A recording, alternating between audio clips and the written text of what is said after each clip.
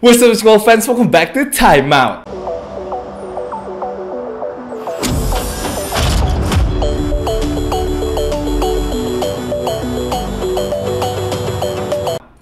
Gorky Padilla, kita kembali lagi ke info basket harian dari 18 Februari 2022 Time out geng, selamat malam semuanya. Wah, Jumat malam pada lagi ngapain ya? Semoga pada di rumah aja sambil nonton Time Out sekarang ini.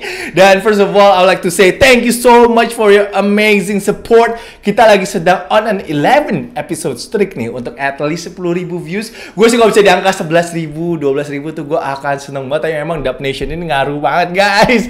Kemarin Dub Nation kalah lagi, baru lewat nih Jam setengah 10 kemarin baru lewat uh, 10 ribu views kemarin ini. But once again gue appreciate banget sih support kalian yang support time out setiap harinya. Kasih like, kasih komen dan juga udah share ke teman-teman kalian. Thank you so much. Semoga aja streak ini bisa terus continue sampai 40 atau sampai 50 ya Ntar gue akan kabarin kalian semua.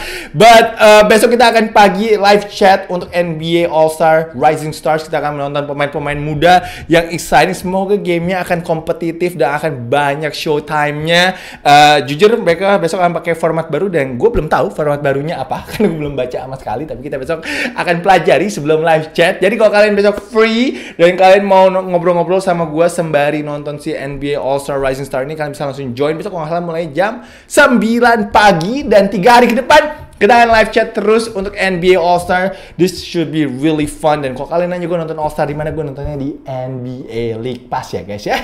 Jadi uh, selama All Star ini dan juga All Star Break kan itu ada empat hari ntar ya All Star Break sebelum NBA regular season mulai lagi. Gue belum tahu jujur akan bikin timeout atau tidak. Bisa aja timeout libur seminggu. Tapi gue rasa sih nggak mungkin libur seminggu sih. Pasti akan ada berita uh, basket yang menarik yang gue harus react nantinya. Jadi tunggu aja kita pro, uh, progresnya lihat hari by hari ya nanti ya. Oke. Okay. Kalau gitu kita langsung masuk aja ke comment of the day. Comment of the day datangnya dari Restu PR. Dua tiga buah sahlak, Knicks jagonya ngelawak. ini pantun gak nih hitungannya? I think this is pantun ya. Shout out to Restu PR. Gue pas baca ini lumayan ketawa sih. So this is pretty good though untuk pantunnya dia. Gue harus belajar pantun juga sih. Mungkin gue bisa ngelakuin itu di time out karena time out ini akan menjadi acara setengah roasting. Kita akan seling-selingin roasting roastingan dikit lah biar nggak bosan-bosan banget ya. Biar kita nggak tegang banget, nggak serius banget lah ngomongin berita basket lah ya. But shout out tuh untuk Restu PR of course thank you so much semuanya juga sudah meninggalkan komennya kemarin ini. Kalau gitu, langsung aja kita masuk ke timeout hari ini. Jelas pertama kita akan ngomongin tentang Joel Embiid yang masih penasaran dengan gerakan double step backnya Harden. Hari ini dicoba lagi bro. Gue suka sih dia. Dia pantang menyerah sih untuk si Joel Embiid ini. nih. Gue yakin kemarin di pesawat itu pas dari Philly ke Milwaukee gue yakin pasti mereka nonton di laptop lalu mereka breakdown. Kenapa gerakan itu traveling dan juga bisa kena block dan hari ini Embiid berhasil kan buktinya buktinya dia berhasil double step back lalu three pointnya masuk men. Tapi emang Embiid sih hari ini he was in his bag though. 42 poin 14 rebound 3 kali 3 point shot. Dan Sixers of course setelah dibantai habis sama Boston Celtics mereka berhasil bounce back untuk mengalahkan defending champion Milwaukee Bucks dengan skor 123 120 Embiid tapi beneran sih nggak fair banget ini orang. Setinggi gitu ya seven footer. Step back three point shot. Lalu juga dia bisa mid range post move. Gue nggak ngerti sih mau jaganya gimana sih dia sih. Mungkin lawannya gak cuma bisa berdoa aja sih bolanya nggak masuk ya. Tapi tahun ini bener dia nunjukin kok dia the best player. Dan menurut gue he the best player in the NBA sekarang ini um, setelah game pun ada tweet war sedikit antara Philly dan juga Bucks di Di mana Philly ngebalesin tweetnya Bucks dulu. Ditulisin sekarang Joel Embiid adalah the king of Milwaukee. Yeah, that's fun though.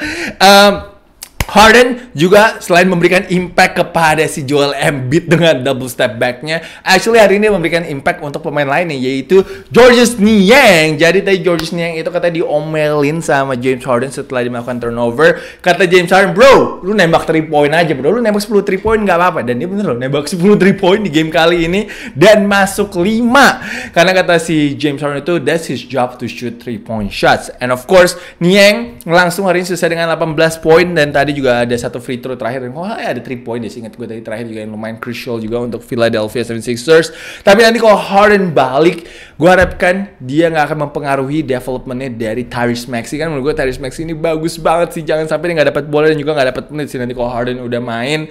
Um, Maxey hari ini mendapatkan 10 free throw guys. 10 free throw menurut gue tuh lumayan banyak. And of course dia selesai dengan 19 poin. And dari Bucks hari ini Chris Middleton gagal jadi Michael Jordan, man. He was choking man in the fourth quarter. Tapi gue gak salah tuh dia passing penonton nih kok. Tadi inget gue. And of course Chris Middleton ini bikin gue geleng-geleng pala sih hari ini karena dia tadi berapa kali three point gak ada yang masuk terakhir-terakhir. Man, Three pointnya dia 2 dari 12 man. Uh, Untuk si Chris Middleton just sayur banget sih hari ini permainan dia. Um, Harusnya dioper ke yang lain sih Tapi jangan dia terus nembak ya. Kasih Juru kayak mungkin Juru juga bisa masukin kali. Tapi pasti Giannis hari ini triple double dengan 32 poin 11 rebound 9 assist. Nyaris banget sih Satu assist doang kurangnya. Serta juga dia melakukan 3 steals. Seru sih tapi tadi Embiid lawan Giannis Gue nontonnya terhibur banget. Dan gue gak rugi banget sih Kalau kalian tadi sempetin nonton highlightsnya juga Untuk pertandingan ini Is bakal wild banget sih. Gonna be so much fun for the playoff nanti ini.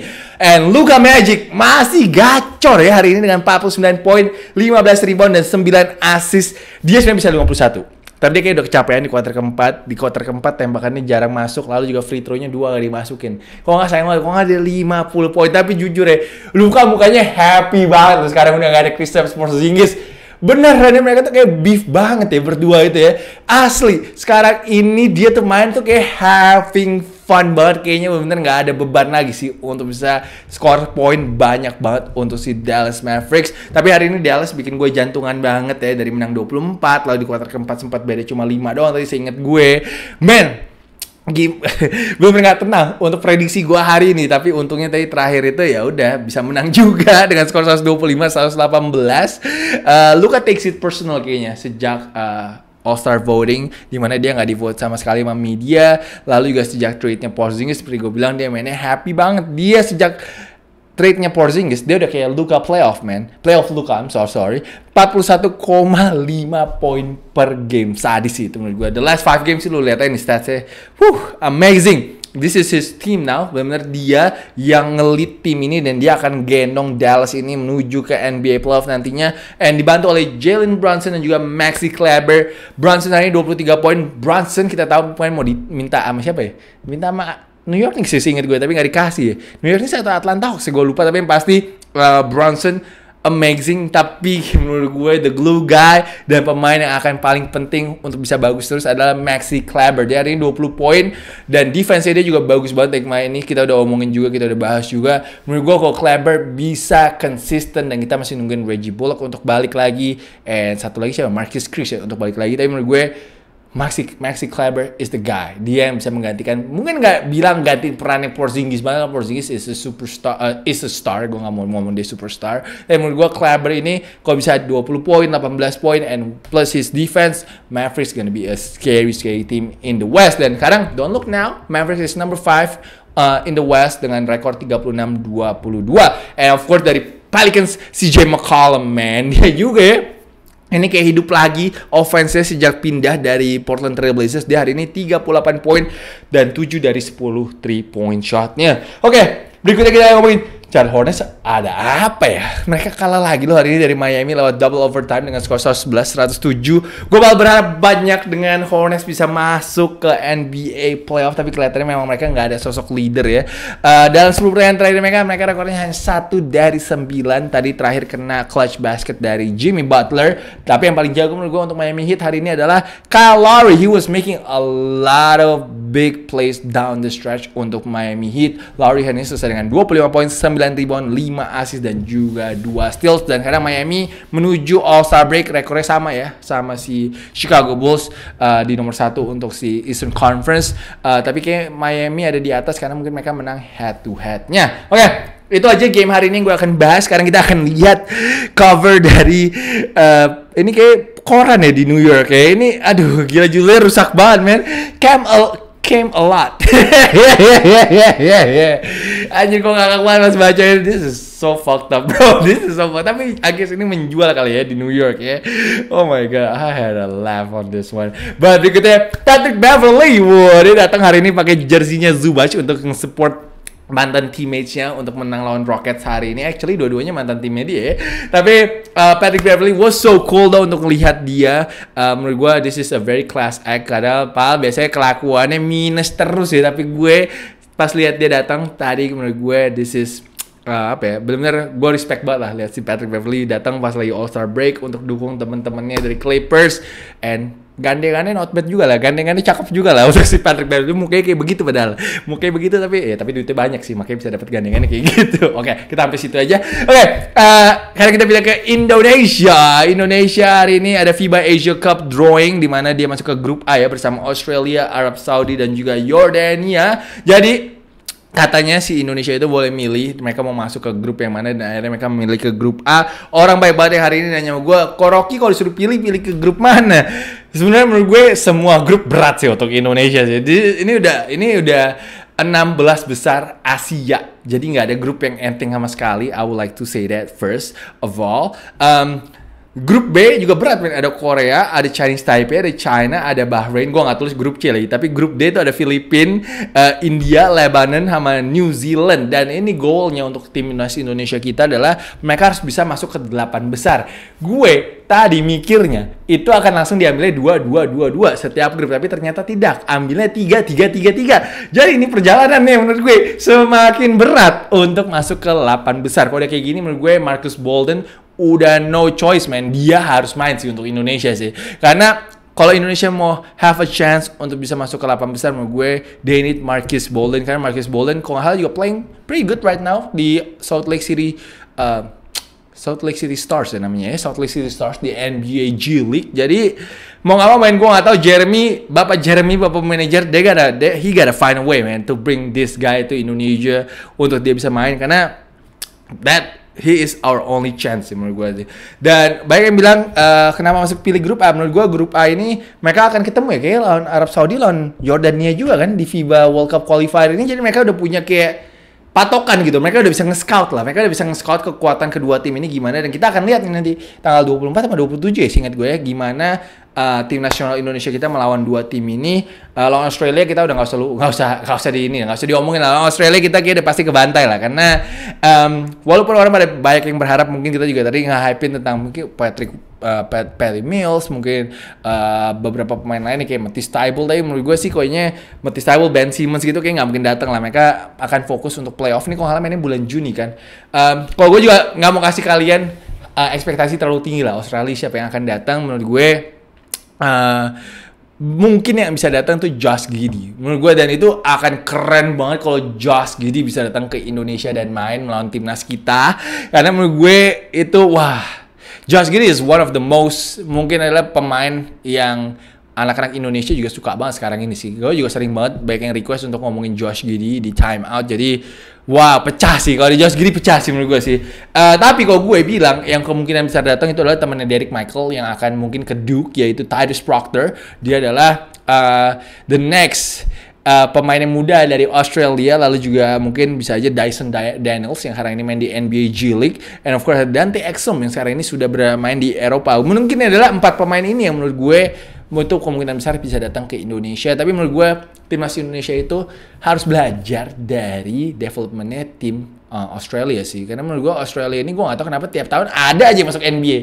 Ada aja mereka bisa produce pemain muda yang akan bermain di NCAA Divisi 1 dan juga udah menuju ke Amerika. Menurut gue itu mereka harus belajar sih. Mereka harus gue gak tahu gimana caranya. Mereka harus lihat mungkin ke Australia gimana sih caranya tim apa negara Australia ini mengembangkan pemain mudanya ini loh karena menurut gue itu penting banget sih. Uh, karena semua itu akan dimulai dari muda lah ya. Jadi masukan dari gue mungkin harus belajar ke Australia sih untuk hal ini. Tapi uh, Indonesia gue rasa sih chance yang paling besar untuk bisa jadi runner up ada di grup A menurut gue. Dan of course mereka akan ketemu runner up nantinya mungkin ataupun juga juara tiga kali ya. Juara tiga tuh runner up yang mungkin dari uh, grup B.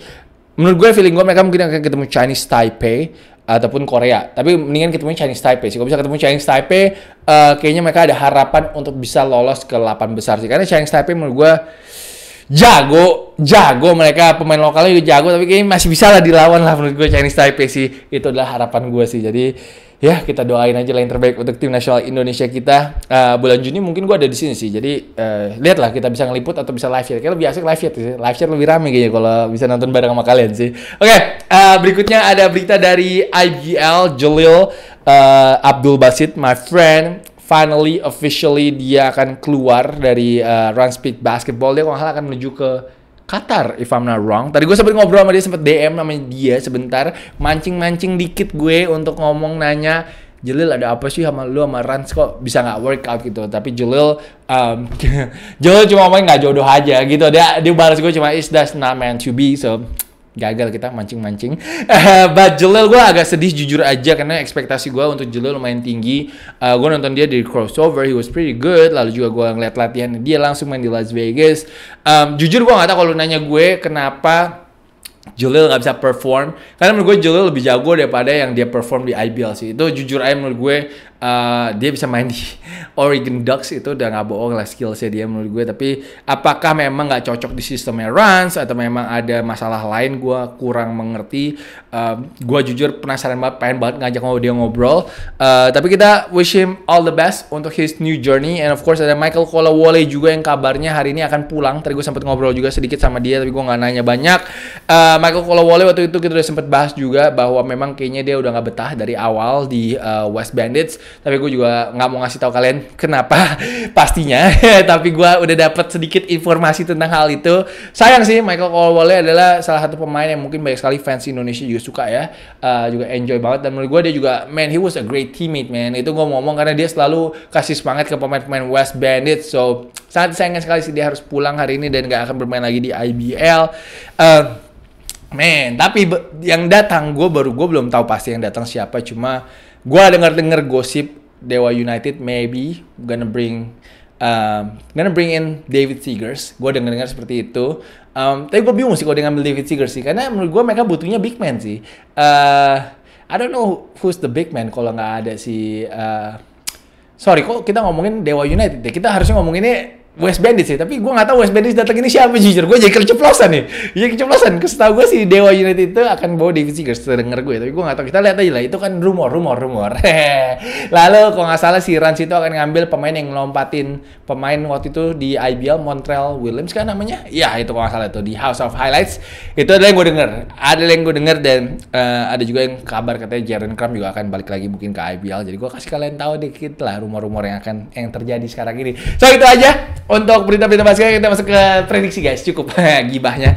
Oke prediksi um, kemarin ini cair Dallas. Oh, sekarang ini uh, Dallas tadi seperti gue bilang lumayan bikin deg-degan tapi lumayan lah. Lagi kita lagi lumayan wangi lah untuk prediksi di time out oke sekarang kita masuk ke uh, Rising Star. Besok NBA All Star ini adalah tim-timnya besok yang akan bertanding. Ada empat tim. Uh, tapi gue paling suka sih timnya Gary Payton ya. Ada Lamelo ada Scotty ada Ayo. Lalu Kuminga juga masuk. Menggantikan Duarte lalu juga um, siapa lagi? Bones Highland menggantikan si David Mitchell and of course ada Jaden McDaniels. Kayaknya tim ini akan paling niat nih. Kayak tim ini akan paling niat menang sih menurut gue sih. Jadi gue jagoin timnya Gary Payton. Nah three point contest. Kalau skills challenge gak usah diomongin lah ya.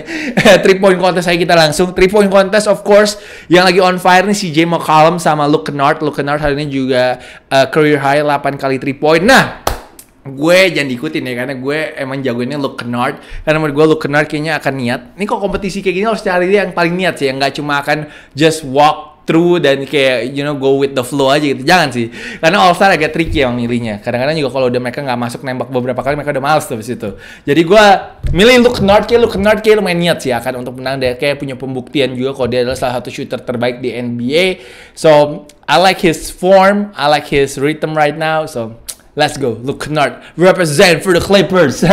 Dan contest, dan contest ini kayaknya JTA gue aduh kenapa harus JTA sih? Kenapa nggak Gary Payton aja mendingan daripada JTA uh, eh, JTA Cole Anthony Obi Chopin dan juga Jalen Green. Kayak top 2 nya finalnya akan Obi Chopin dan Jalen Green. Gue I'm going with Jalen Green. I'm going with Jalen Green. Kayak menurut gue Jalen Green kayaknya got something up his sleeve. Karena dia anaknya hype banget anak muda banget. Jadi gue rasa dia ada something surprise uh, for us lah nanti ya.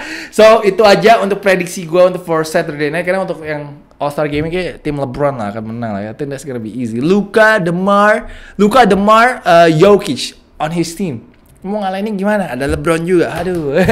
Hai, udah susah itu ya. Oke, okay, sekarang kita masuk ke top place. Uh, top stars gue lewatin dulu kan top stars hari ini gue gak nyari, tapi kita akan masuk ke top place. Uh, pertama cuma ada Josh Christopher nih with the still Josh Christopher. I'm so sorry. And dunk against the Clippers. Against the Clippers, tapi hari ini dunk yang paling keren adalah David Duke Jr.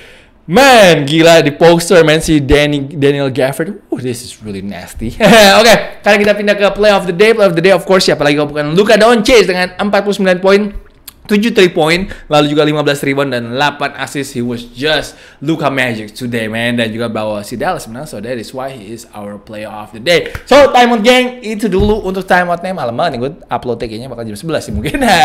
But hopefully masih pada sempat nonton hari ini dan juga sempat support. So, once again, thank you so much guys for watching. Jangan lupa untuk like, jangan lupa untuk comment. And I will see you guys again tomorrow morning. Peace out guys.